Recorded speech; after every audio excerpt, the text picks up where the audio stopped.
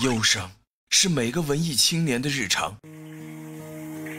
我的灵魂太空旷，寂静的只剩下回忆，流水潺潺，洗得尽身上的污垢，却冲不掉我心里的伤。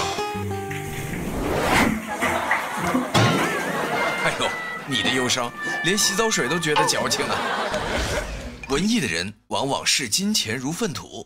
我从来没碰过钱，我对钱没有兴趣。因为我最快乐的时候是一个月拿九十一块钱，我当老师的时候，我从来没碰过钱，我对钱没有兴趣，对钱没有兴趣。嗯，您这人生境界，我望尘莫及呀。文艺青年作画的形式不拘一格，比如下面这位，以脚为笔，以地为纸，也能创作出一幅惊世巨作。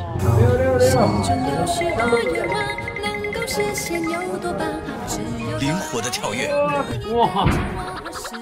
轻盈的小碎步，认真又执着的他，宛如一位雪地舞者。一圈一圈贴我的心，就像夜空舞蹈的流星。